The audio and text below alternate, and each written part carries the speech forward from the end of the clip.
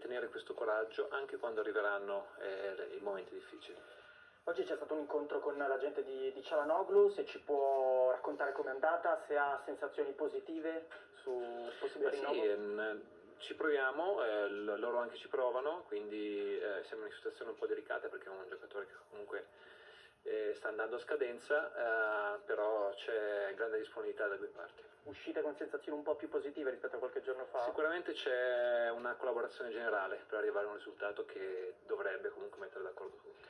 Ci dà le sue sensazioni su, su Kalulu? La sua lettura su questo ragazzo? Se è- ma- magari in questi giorni gli ha trasferito anche qualche messaggio in più. Ho parlato pochissimo con lui perché abbiamo sempre parlato ipotizzandolo in un ruolo di terzino adesso si è, si è dimostrato un, un ragazzo magari con caratteristiche più adatte al ruolo di centrale. Lui lo ha fatto naturalmente anche nelle giovanili del Lione e non ci dimentichiamo che è un ragazzo del 2000 che eh, il giorno che è arrivato da noi aveva fatto nel, nella- nel totale della sua carriera una panchina con Lione, quindi è un ragazzo che deve fare esperienza.